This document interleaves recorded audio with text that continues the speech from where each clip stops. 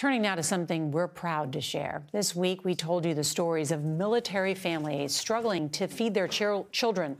Nearly 40% have had difficulty finding.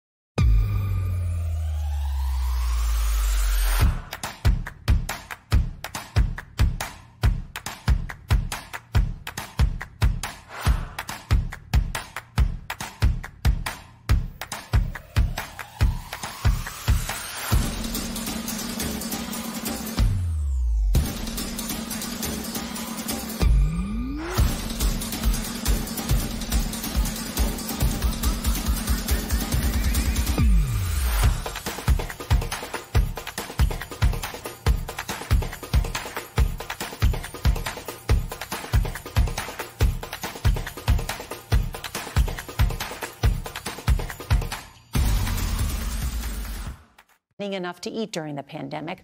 The stories of these military families resonated with our viewers. In the past 48 hours, more than 2,500 of you have donated more than $300,000 to the Military Family Advisory Network. With that money, they hope to provide 1 million meals over the next few months. Thank you. Thank you.